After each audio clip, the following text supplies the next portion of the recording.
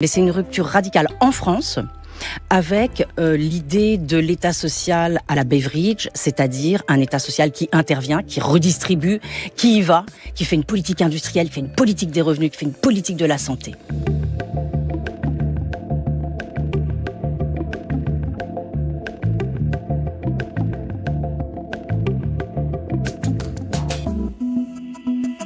Le, parallèle que je fais entre les deux, c'est avec des notions assez retravaillées par le président de la République et son équipe. Par exemple, on nous parle d'émancipation, qui est un terme magnifique, très très beau terme.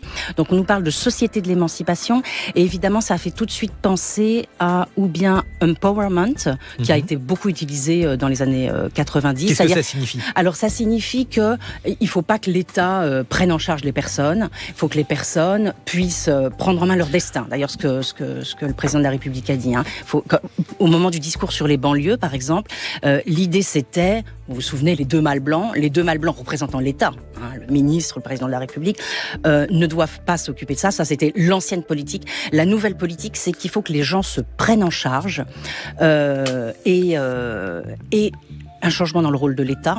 L'État, vous savez, enabling state, l'État qui rend capable, l'État accompagnateur, mais plus du tout l'État interventionniste. Donc c'est une rupture radicale avec, euh, bon la rupture était déjà bien sûr faite, hein, mais c'est une rupture radicale en France avec euh, l'idée de l'État social à la Beveridge, c'est-à-dire un État social qui intervient, qui redistribue, qui y va, qui fait une politique industrielle, qui fait une politique des revenus, qui fait une politique de la santé.